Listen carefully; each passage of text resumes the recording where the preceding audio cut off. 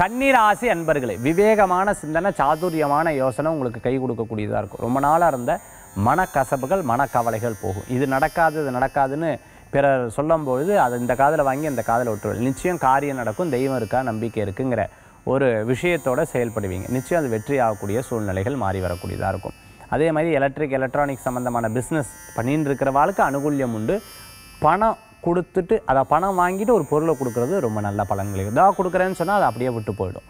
இன்றைய தினத்துக்குண்டான அதிர்ஷ்டமான எண் பார்த்துட்டேன்னா ஒன்பது நிறம் ராமர் பச்சை வழிபாட்டுக்குண்டான தெய்வம் மகாவிஷ்ணு வழிபாடு வெற்றி வழிபாடு.